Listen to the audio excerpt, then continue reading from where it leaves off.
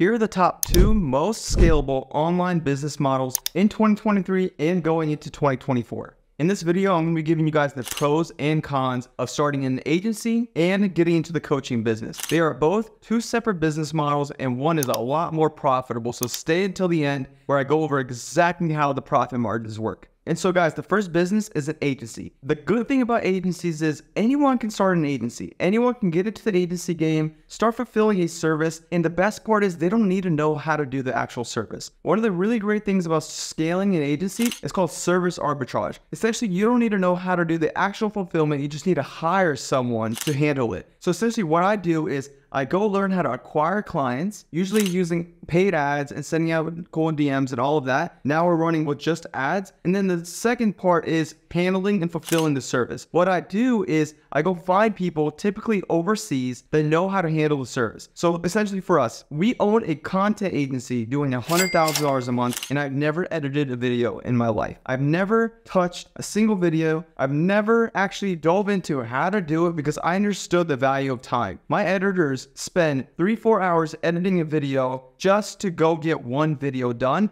where I would rather, instead of learning that skill set, I would rather go learn how to acquire more clients. And so one of the really good things is you can start an agency, you can be brand new to this game, and you can literally just go find someone overseas to handle the service. You can be really good at marketing yourself and talking to a lot of people and just getting them to buy your service and not even handling the back end. You just have to build up a team and really start scaling up and making sure that the quality of work remains amazing because you're not the one doing it. But let's talk about the biggest con. To scale an agency, you need a big team. You need to scale up and it requires more work, more time, more energy. And the hard part about it is the majority of agencies have a profit margin of about 40 to 50%. And so every $100 you make, $50 of it goes to your team. And it sounds nice in theory until you're making $100,000 a month and 50,000 of it goes straight to your team, towards ads, towards all these things, and that's before taxes. And so that's one of the biggest cons about starting an agency. You have to have a big team as you scale. The profit margins keep getting eaten up, and honestly, starting and scaling an agency sucks the life out of you. At a certain point, you just feel drained and like you're working for your clients versus working with your clients. And so this is essentially a done for you model, and your clients expect the world out of you, and that's okay, but it's just unreal. It's unreal and it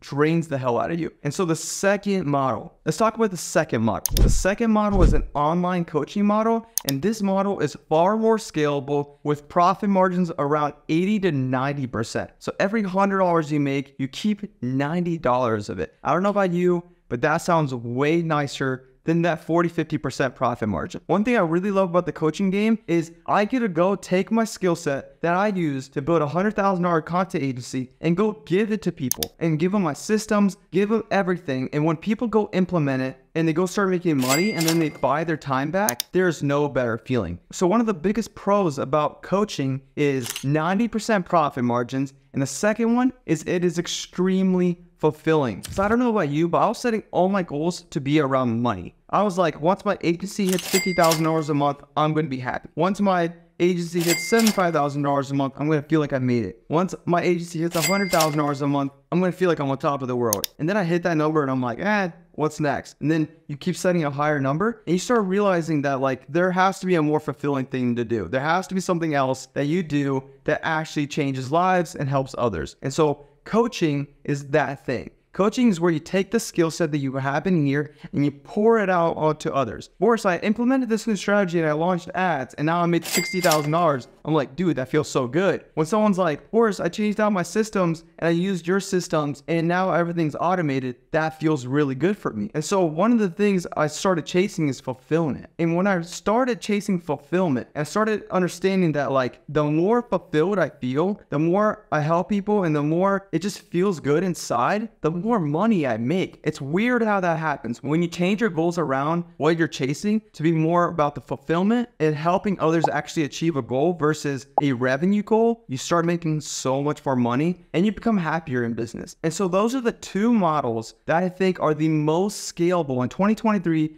and 2024. But if you have a certain skill set and you know what you're doing, I would go and start a coaching business. And if you don't want to go fully into the coaching space and you currently have an agency, add a coaching aspect to it. And what I mean by that is hop on one on one calls with your clients and see how you could help them. Give them some advice, give them some feedback, look at what they're doing, see what they could do to improve, and start building that rapport with your clients because that will lead to a higher retention with your clients and that will lead to practice for when you do want to get into the coaching space. Because let me tell you, the coaching space is a game changer. And so, guys, that's my honest feedback. I literally have an agency doing $100,000 a month. I have a new coaching business that's thriving and clients are getting wins. And one thing I wish I knew earlier is go all in on coaching because my agency right now has about 20 employees, and my coaching offer has two employees. And the coaching offer is 10 times more scalable with 10 times less employees. So think about that. I have to go manage 20 employees for the agency just to go and get a 50% margin and deal with all this headache of checking in with the team, making sure everything's running properly, making sure that nothing shady is going on in the company just to make less money than the coaching business. It just doesn't make sense. That's my honest feedback, guys. I hope that helps. So if you're looking to start an agency or scale your agency, or if you're looking to scale a coaching business,